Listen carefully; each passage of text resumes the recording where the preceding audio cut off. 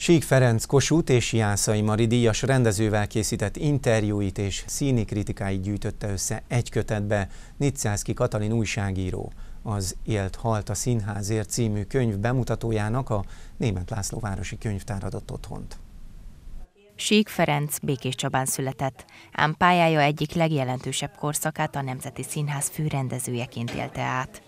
1973-ban az ő közreműködésével jött létre a Gyulai Várszínház, amelynek több mint 20 évig volt a művészeti vezetője. Én úgy gondolom, hogy felnőtt egy nemzedék, talán több is, aki már nem találkozott Sík Ferenccel, hiszen ő már több mint 20 éve, 22 éve úgy mondjuk, hogy a mennyei társulatból rendelkezik.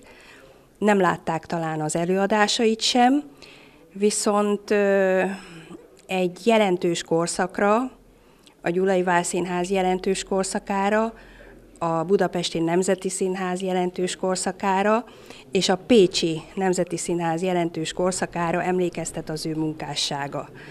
Úgy gondolom, hogy a színházba járó közönségnek fontos információkat tartalmaz a könyv, de azoknak is, akik talán nem járnak rendszeresen színházba, fontos kultúrtörténeti emlék. Sík Ferenc sokat tett azért, hogy a kortárs magyar drámát és az erdélyi magyar drámát, különösen Sütő András íróműveit és minél többen megismerik Magyarországon. Egy történet igazolja, hogy olyan műveket is színpadra vitt, amelyeket az ideológiai hatalmi ellenőrzések nem engedtek volna meg. A megyei lapnál, Békés megyében, ahol dolgoztam, az volt a szokás, hogy premierek előtt előzeteseket írunk az rendezőkkel, a szerzőkkel, erre nem volt lehetőség, mert Sütő András telefonját lehallgatták, tehát őt nem lehetett elérni, és Sik Ferenc átcsempészte az én kérdéseimet is az előzetes interjúhoz, és így jelenhetett meg az Álomkommandó legendás sikeres premierje előtt, 87-ben,